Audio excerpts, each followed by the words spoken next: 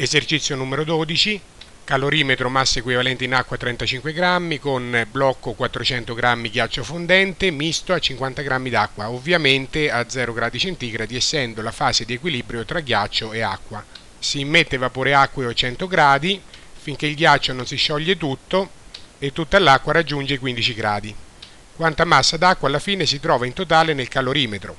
Vediamo che la massa di vapore acqueo non è data per poter dire quanta massa d'acqua alla fine si trova nel calorimetro, in pratica bisogna calcolare quanto vapore acqueo c'era all'inizio. Infatti tutto questo vapore acqueo diventa acqua liquida e tutto il ghiaccio lo stesso diventa acqua liquida. Qui vediamo il vapore inizialmente a 100 gradi di cui non conosciamo la massa. Quindi sul grafico temperatura-calore partiamo dal punto C, tutto vapore a 100 gradi.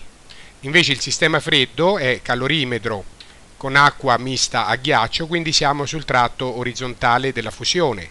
Quindi lo stato iniziale A si trova su questo tratto orizzontale più vicino alla fase de del ghiaccio, perché c'è più ghiaccio 400 grammi che acqua 50 grammi. Questo problema è diverso da quelli precedenti perché qui ci viene detto qual è la temperatura finale d'equilibrio, sono 15 gradi, nei problemi precedenti invece era da scoprire.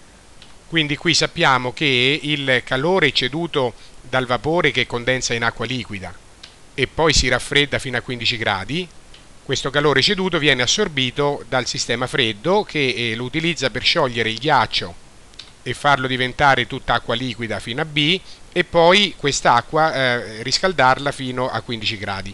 Allora uguagliamo il calore assorbito dal sistema freddo QAB più QBE al calore ceduto dal sistema caldo QCD più QDE naturalmente in modulo essendo dei calori eh, ceduti quindi negativi. Qui adesso in questa equazione scriviamo tutti questi quattro calori attraverso le due formule delle, dei passaggi di stato e dei riscaldamenti. QAB è un passaggio di stato quindi calore latente di fusione del ghiaccio per la massa di ghiaccio che eh, si scioglie questo QAB eh, lo possiamo anche scrivere come, con i numeri perché è il calore latente di fusione del ghiaccio per 400 grammi di ghiaccio che si sciolgono. QBE è il calore assorbito dall'acqua che si scalda di 15 gradi. Ricordiamo che l'acqua eh, adesso oh, non è solo 50 grammi ma è 400 grammi anche eh, il ghiaccio che si è sciolto, quindi è la massa d'acqua 50 grammi più 400 grammi di ghiaccio che eh, si è sciolto in acqua più la massa equivalente in acqua del calorimetro che si comporta come 35 grammi dal punto di vista dell'assorbimento del calore, cioè assorbe tanto calore quanto al suo posto assorbirebbero 35 grammi d'acqua.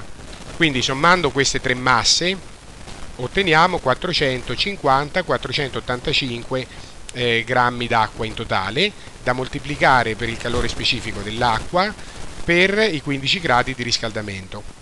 Ora passiamo ai calori ceduti, QCD è il calore che cede il vapore quando condensa tutto in acqua, quindi è il calore latente di vaporizzazione, dovrei dire di condensazione, ma tanto è lo stesso valore, per la massa di vapore che è sconosciuta. Ed ecco qua il calcolo 2256 kJ al chilo per MV. Poi abbiamo l'altro calore, calore ceduto dal, ormai è tutta acqua liquida, il vapore non c'è più, che scende da 100 a 15 gradi, quindi scende di un salto termico delta T di E che è pari a 85 Kelvin da 100 a 15 gradi. Quindi questa formula del raffreddamento si calcola calore specifico dell'acqua perché ormai è tutta acqua liquida per la massa di vapore incognita per questi 85 Kelvin di raffreddamento.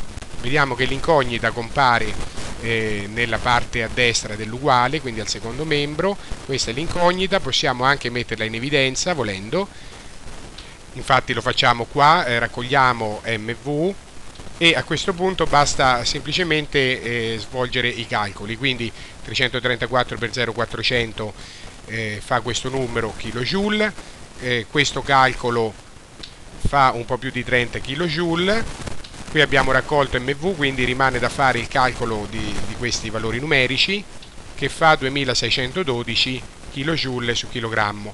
Qua a sinistra la somma di questi due 164,1 kJ si semplifica, l'incognita è la massa del vapore, formula inversa, la massa del vapore è 0,0628 kg, circa 63 grammi. Dunque il vapore all'inizio era 63 grammi, Questo, questi 63 grammi me li ritrovo qui, come acqua liquida a 15 gradi. E questi 63 grammi vanno a sommarsi all'altra acqua liquida che sono 450 grammi, perché il ghiaccio si è sciolto tutto in acqua e in più c'erano 50 grammi d'acqua, quindi 450 grammi d'acqua in E più questi 63 grammi di vapore che sono diventati acqua in E. Ed ecco qua la massa d'acqua totale alla fine a 15 gradi, 450 più 63, 513 grammi d'acqua liquida a 15 gradi. Eh, inoltre eh, non dimentichiamo che c'era anche il calorimetro che si comporta come 35 grammi d'acqua liquida, però l'acqua liquida vera e propria è 513 grammi.